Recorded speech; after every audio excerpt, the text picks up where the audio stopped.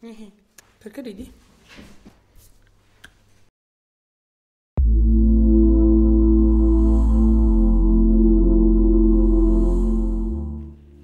Hello! Ben ritrovati o benvenuti sul mio canale amici. Quello di oggi sarà un episodio monografico in cui parleremo di una figura quasi dimenticata dell'architettura, di cui probabilmente non avrete mai nemmeno sentito parlare, ma la cui opera è secondo me un viaggio bellissimo tra architettura e visione politica della realtà urbana. Viaggio che tra l'altro faremo attraverso disegni magnifici e incredibilmente futuristici. Oggi parleremo di Lebeus Woods. Ma prima di iniziare vi ricordo che qui sotto c'è un pulsantino rosso. Cliccateci su per iscrivervi al mio canale e attivate la campanella così da non perdervi mai nessun video futuro. In più assicuratevi di seguirmi anche su Instagram e Facebook, dove oltre ad un sacco di foto e contenuti più o meno inutili, settimanalmente vi propongo dei sondaggini che vi permettono di decidere insieme a me i contenuti per i prossimi video. Perciò, orsù, cliccate come matti su quei pulsanti. Grazie. Ebbene amici, quando si parla della figura di un architetto, tendenzialmente si pensa ad un tecnico, a un esperto in materia di costruzioni e di progetto, ma anche eventualmente ad un intellettuale, a una persona che si occupa di arte e filosofia. Sicuramente una delle ultime cose a cui si pensa quando si pronuncia la parola architetto è la politica. Nonostante la costruzione e la crescita delle città interessi in primis la sfera sociopolitica, se legata all'architettura, viene intesa soprattutto come pianificazione urbana e successivamente magari progettazione edifici pubblici e privati. L'architetto è nell'immaginario comune fautore di tutto ciò, uno studioso, un tecnico, un supervisore che progetta e cura la realizzazione di opere strettamente fisiche, tangibili. Quello che invece il lungo lavoro di ricerca di Lebeus Woods vuole insegnarci è che l'architetto è sì tutto questo, ma che riveste anche un ruolo fondamentale nell'organizzazione politica e sociale della città stessa. L'architettura è infatti il luogo fisico in cui si svolge la vita della città. È lo spazio in cui si interagisce, ci si incontra e si mettono in atto tutti quei meccanismi che messi insieme danno vita alla grande macchina sociale. Ogni rapporto tra le persone ha infatti un luogo fisico in cui si svolge, una sorta di scenografia. L'architetto, essendo autore e artefice di questa scenografia, nonché esecutore della stessa, deve necessariamente conoscere la storia e i personaggi che andranno poi ad animare questo spazio, proprio come uno scenografo deve conoscere i personaggi e la storia del film o dello spettacolo teatrale. Ecco perché l'architetto non è semplicemente un progettista, ma deve essere un attento osservatore della società, che oltre a guardarla con un occhio da studioso, la abita e interagisce in essa e con essa. Lebeus Woods, nato negli anni 40 e scomparso purtroppo nel 2012, è stato un architetto e artista americano che ha rivestito un ruolo fondamentale nell'affermazione di questa teoria. Ma credo che il modo migliore per raccontare questo architetto, di cui non si studia mai nulla nelle università e che molti forse nemmeno conoscono, è esplorare i suoi studi e le sue ricerche. Quello che colpisce di più della ricerca di Lebeus Woods è l'uso costante, quasi ossessivo, di due parole, struggle e fabric. Probabilmente queste due parole riassumono nella maniera più esaustiva l'intero lavoro di Woods. La parola struggle, intesa come lotta e battaglia interiore, è quella che più spesso compare all'interno dei suoi reportage, che egli conduce per diverse riviste, come per esempio quella di A più U o A plus U. Si tratta di una parola che già semplicemente dal suono, struggle, denota una passione in coinvolgimento fuori dal comune. Quando Woods si reca a Sarajevo nel 1994, scrive un articolo interessantissimo sulla rinascita di questa città all'indomani della guerra che ahimè l'ha segnata profondamente. Egli in questa occasione parla più volte di struggle, soprattutto nel momento in cui parla dell'inarrestabile voglia di riscatto degli abitanti di Sarajevo. Ma quello che traspare da quello scritto è che lui stesso è mosso da quello struggimento. Quando una giornalista gli chiede come può di fatto l'architettura risanare e sollevare la popolazione di Sarajevo devastata devastata dalla guerra, Woods con naturalezza le espone il suo punto di vista, dicendo che l'architetto può fare molto per ricostruire una città, dove con ricostruire non si intende soltanto dal mero punto di vista materiale, ma anche da quello sociale. Ed è qui che subentra la seconda parola, ovvero fabric, in italiano tessuto, trama. Woods infatti in quell'occasione spiegherà alla giornalista come su quelle rovine che sembrano aver preso il posto dei fastosi monumenti del passato, la vita degli abitanti scorra ancora e come questi abitanti popolino quelle rovine, le abitino e facendo scorrere le loro vite all'interno di quegli spazi vadano quasi a ricucire quel tessuto urbano logorato, strappato dai bombardamenti. È come se gli abitanti fossero la trama e l'architettura l'ordito di questo tessuto. Woods chiederà alla giornalista di guardarsi intorno, di notare come, dopo tutto, questa gente sia riuscita ad andare avanti, a ripopolare e a ricolorare i luoghi in cui la guerra ha ingrigito le pareti e ha spento le luci. Se un architetto guarda tutto questo con occhio critico, riuscirà a ridare una scenografia perfetta alla vita della città stessa. Scendere in strada, studiare i comportamenti delle persone, i loro movimenti, le loro abitudini, chiedere il loro pensiero è effettivamente il modo migliore per posare la prima pietra della ricostruzione. Probabilmente il concetto che più si avvicina a quest'idea di Woods è quello della partecipazione decarliana. Come Giancarlo De Carlo, infatti, grande urbanista italiano degli anni 60, per chi non lo conoscesse, Woods è convinto che sia totalmente privo di senso iniziare una costruzione, o in questo caso una ricostruzione, senza prima instaurare un dialogo, una sorta di tavola rotonda con i futuri utenti e anche con i progettisti locali. Infatti, chi meglio di loro potrà dare indicazioni su quello che effettivamente serve alla città? Saranno proprio loro a determinare la tessitura del fabric della città e il progettista andrà semplicemente ad orchestrare questo procedimento, ma facendo così saprà esattamente qual è il suo obiettivo, prima ancora di posare la matita sul foglio. La stessa partecipazione poi, in fase successiva, aiuterà il progettista a disegnare e generare il progetto perfetto, un progetto che sembrerà quasi già vissuto, fin anche quando sarà semplicemente un segno di lapis sul foglio di carta. Il segreto è infatti impugnare la matita e pensare che quello che si sta disegnando è già stato abitato, usato, modificato, adattato, magari anche demolito e ricostruito. È come se su quel foglio ci fossero già tante piccole persone e con la matita il progettista andasse semplicemente a delineare quelli che saranno i muri e a spianare le strade tutto intorno a loro, come se fosse un abito fatto su misura. È da come le persone vivono gli spazi che è possibile dedurre le loro dinamiche sociali ed è possibile soprattutto evitare errori di progettazione. L'esempio più lampante, sempre a Sarajevo, è proprio quello dei grattacieli, ovvero la cosa più inutile che aveva Sarajevo. I piani alti di queste costruzioni sono infatti completamente disabitati e soprattutto destinati a un lento degrado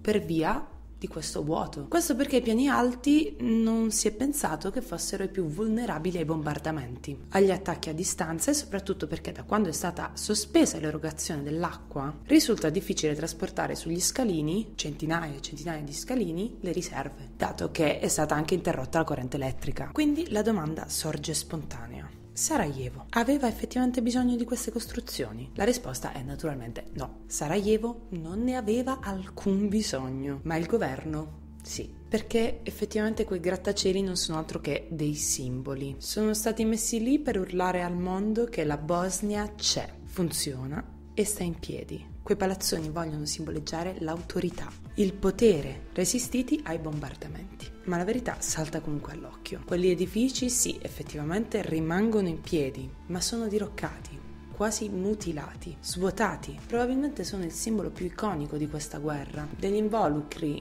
apparentemente forti, robusti, imponenti, ma vuoti, senza anima e oltre che quello non sono nient'altro, non fanno parte di nessun tessuto urbano, anzi lo segnano come se fossero dei nodi nella trama, dei difetti. Quando si chiamano dei grossi progettisti a ricostruire delle città, il rischio maggiore è proprio questo, ossia che questi ne facciano un monumento a cielo aperto. Ed è un errore legittimo perché chiunque sarebbe portato a partire dal passato per edificare il presente, affinché poi sia ricordato in futuro. Sarajevo stessa, prima della guerra, era una celebrazione di storia e cultura, templi religiosi, monumenti e grandi palazzi ricordavano al mondo che la città era pervasa di tradizioni, che aveva radici lontane e importanti. La guerra ha raso a suolo la maggior parte di questi simboli, riducendoli in rovine. Compito del progettista è dare a quelle rovine una vita nuova, ma che sia completamente nuova. La gente, devastata dagli orrori della guerra e dalla violenza, non ha bisogno di altri simboli che ricordino loro questo passato, che facciano riaffiorare il ricordo della guerra,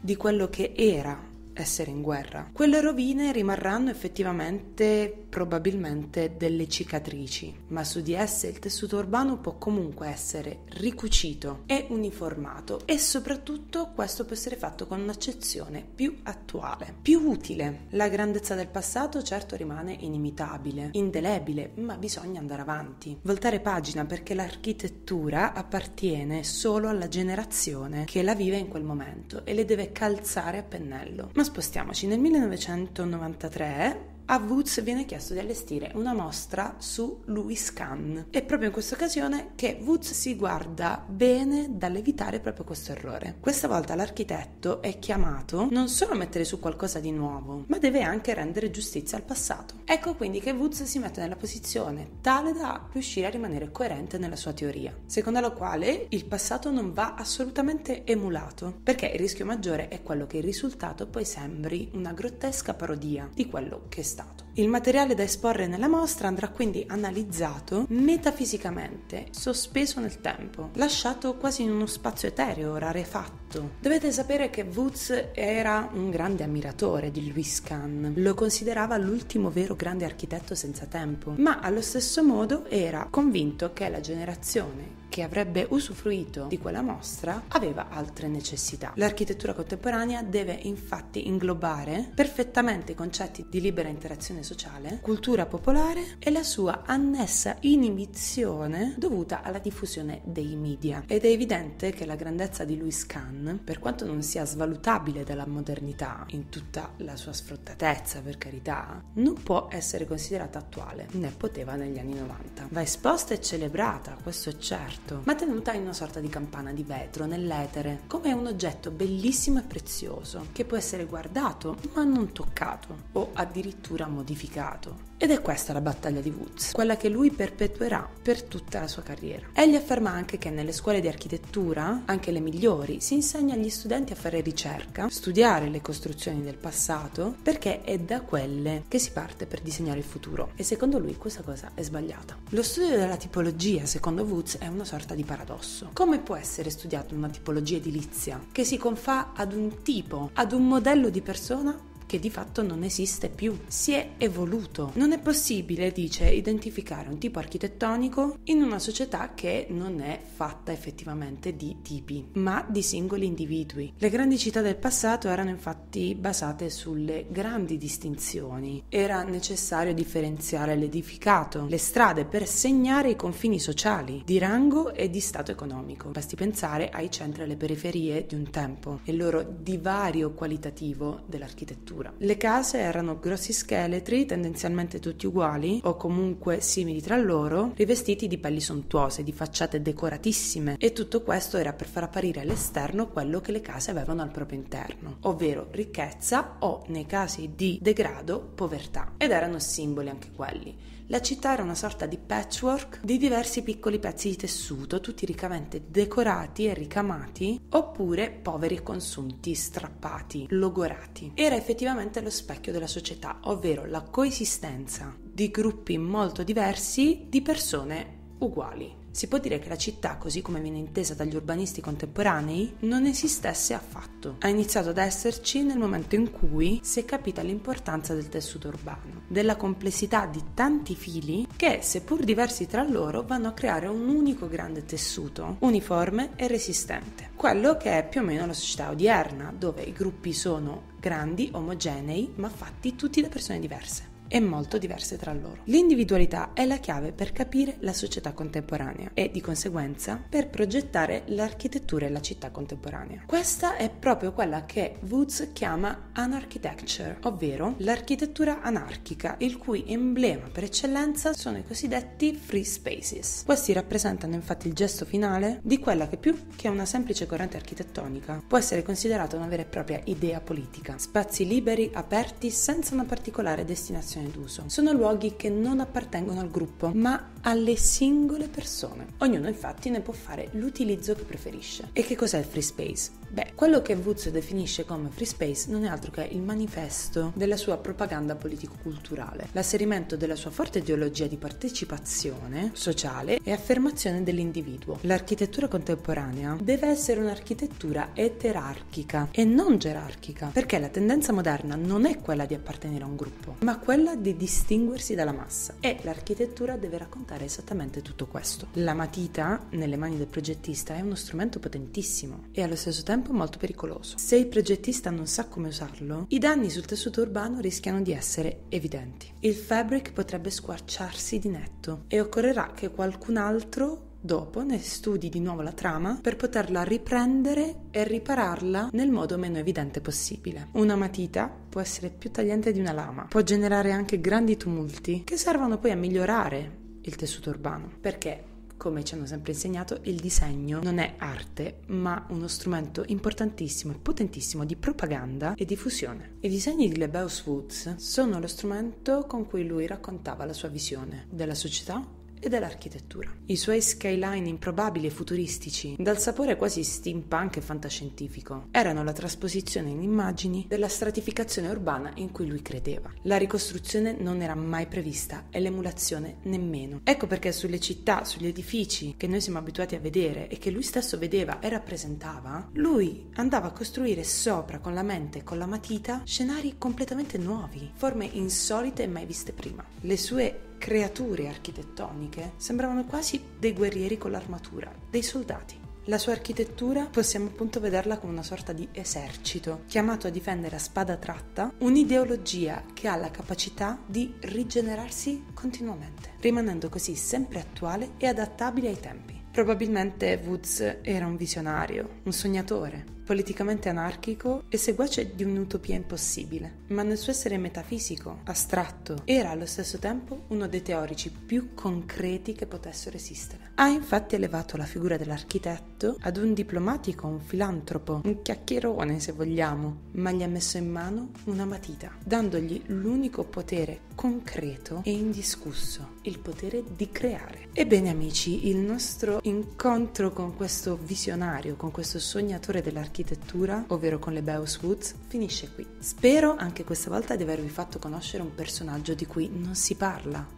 un personaggio assolutamente fuori dai riflettori, che ha un pensiero diverso, ma che è secondo me una parte interessantissima della storia dell'architettura mondiale. Naturalmente ci sarebbe molto altro da dire, ma spero di avervi dato un input e che andiate ad approfondirlo, se vi va ovviamente. La mia missione sarà sempre quella di portare alla luce dei capitoli dimenticati dell'architettura e di dar loro l'importanza che meritano. Se il video vi è piaciuto non dimenticate di cliccare sul pollicino in su perché sapere che apprezzate il mio lavoro è un motivo in più per continuare. In più iscrivetevi al canale e seguitemi sui social. Io vi saluto e vi do appuntamento al prossimo video. Ciao!